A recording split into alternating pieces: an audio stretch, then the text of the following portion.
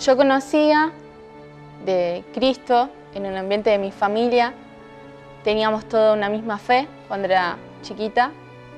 Después mi familia se aparta, entonces también eh, me aparto. Pero en el transcurso de, no...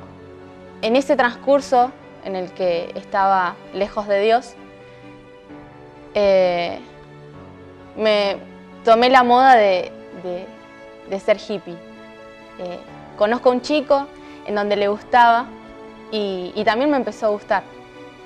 Entonces eh, empiezo con la música, conocer la música hippie, eh, los grupos de amigos. Estaba rodeada en un grupo en donde se drogaban también, donde no era un buen ambiente. Eh, sin embargo, en todo ese tiempo el Señor siempre me guardó, nunca llegué a drogarme. Sí tomábamos alcohol hasta largas horas, eh, siempre en la noche, no, no era un, buen ambiente. Eh, cada lugar en donde estaba yo tenía mi fe igual puesta en el Señor de que Él me guardaba por más que no, no, me congregaba ni conocía de una iglesia.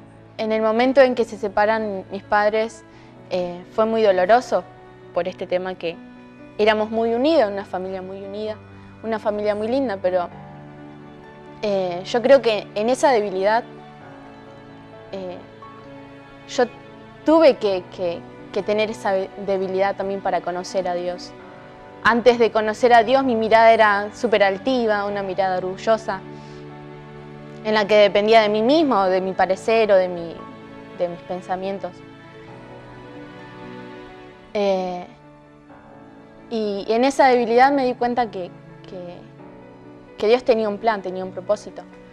Eh, a partir de, esto también surge que eh, un rompimiento de un noviazgo,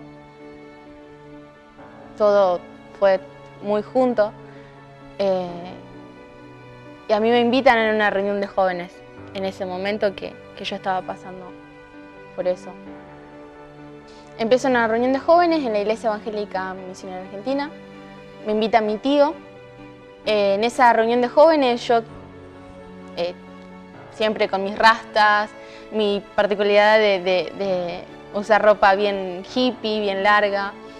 Em, le dije que sí. Y ese día que fui a la reunión de jóvenes fue hermoso porque lo que noté, lo que sentí, lo que viví fue esa familia, ese amor.